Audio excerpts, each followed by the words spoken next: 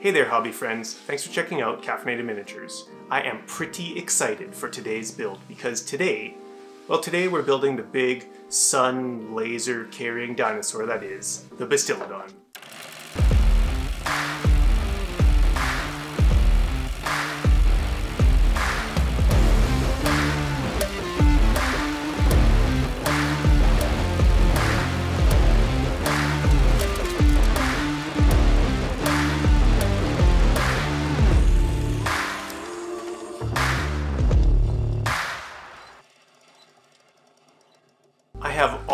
Kind of liked reptiles and lizards, and while it's had its low points, Jurassic Park slash World is easily one of my favorite movie franchises. So the Seraphons seem like a super easy army choice for this guy. I mean, dinosaur riding lizards? Yes, please. Besides, this Bastiladon seems like a super dope model.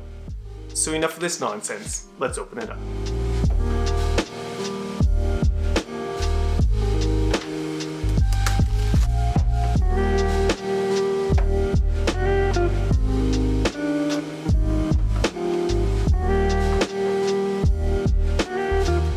Now I've got to admit that I was more than a little intimidated to put this thing together. I mean, I went straight from teeny tiny grots to this big ass dinosaur. I gotta say though that it went together super well, and the mold lines were not too haggard.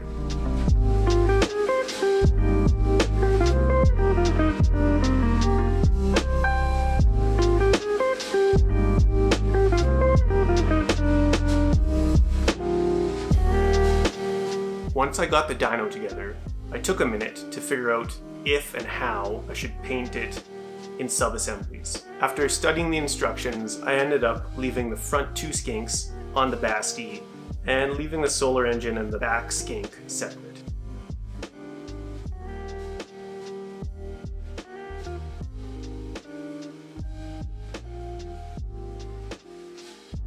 Which I would do differently next time, but that's how I did it this time. Then I primed it up in rattle can black and waited for it to dry.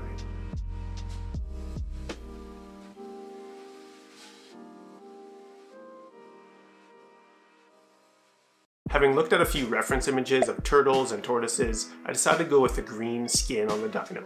So I started there. First paint was Vallejo Game Color Dark Green that I liberally applied as a base coat. I basically immediately regretted my decision on a black primer, but did I stop and reprime it? No, I troopered on like a stubborn fool.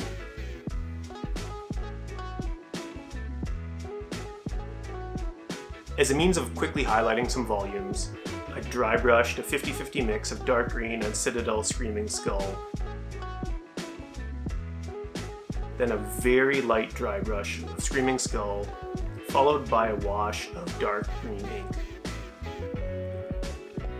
After the ink was nice and dry, I went back in with the brush to refine the volumes with a mix of dark green and Screaming Skull, adding more and more Screaming Skull.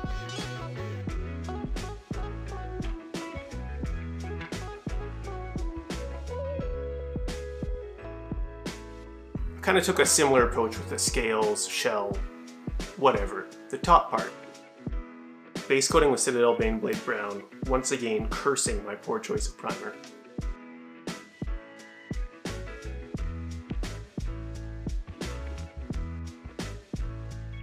Then giving it a quick dry brush with Screaming Skull.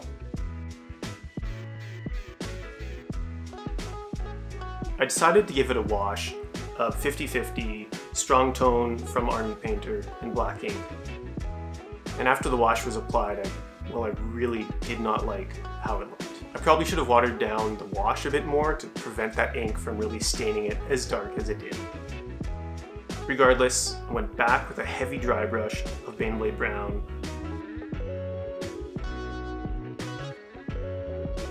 Followed by a much lighter one with Screaming Skull mixed in. And I think I was able to mostly save it.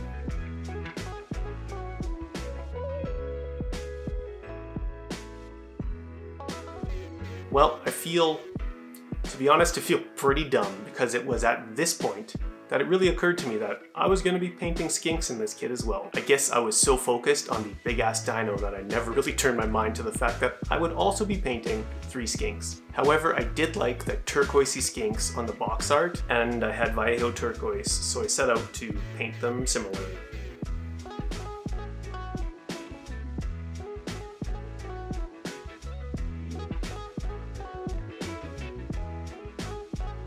when I started the gold bits, of which there is a lot. I started with a base coat of Citadel Mournfang Brown to give that Vallejo gold a much warmer tone and allow it to cover significantly better.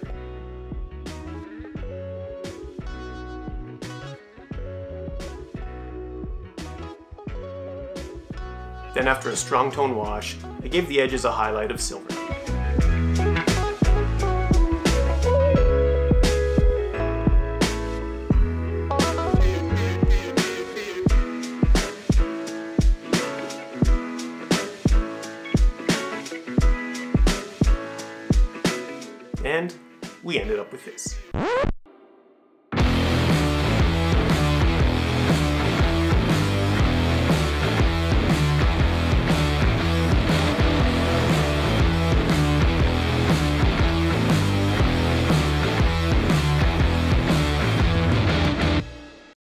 Overall, I think I'm pretty happy with that result. I mean, there's loads of takeaways, but hey, I'm learning. And I'm sure you noticed the glaring omission of the base. And there's good reason for that. I mean, not the least of which is that it's not actually done. But after the admittedly half-assed bases on those grots, kind of want to up my base game. So expect a video in the future. Thank you so much for watching this today. If you made it this far, that is the universe telling you to like the video and subscribe to the channel. It costs you nothing, but it helps the channel out immensely. Thanks again for watching. I appreciate it, and I'll see you in the next one.